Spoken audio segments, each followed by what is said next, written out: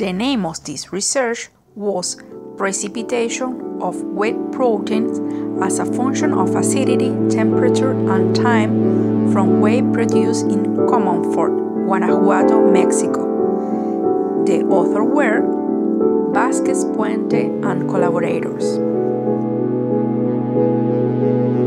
The bovine whey is sometimes dismissed in the diaries for not offering economic benefit to their use for the production of cottage cheese, becoming an environmental pollutant. This is due in part to the lack of best condition of temperature and time for precipitation of lactoseric proteins since no rectification of heartburn occurs. In order to improve production yields in ricotta cheese from whey, various samples were acidified with citric acid 20, 30, 40, 50, 60, 70, and 80 Dornic degrees.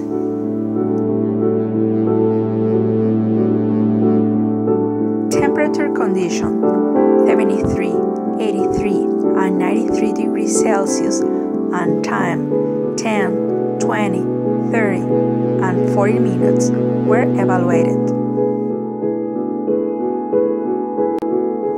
Initially designed used randomized block factorial 3x4 arrangement, general analysis of variance, and one-way comparison test of Tukey was performed.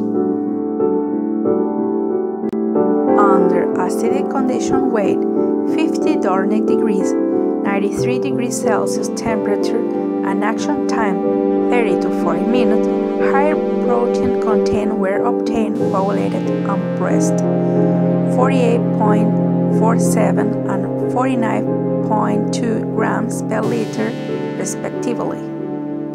The results are an alternative of adjusting the condition of acidity, temperature and time, controlled denaturation, offered to producer to increase production performance with ricotta and they can be profitable.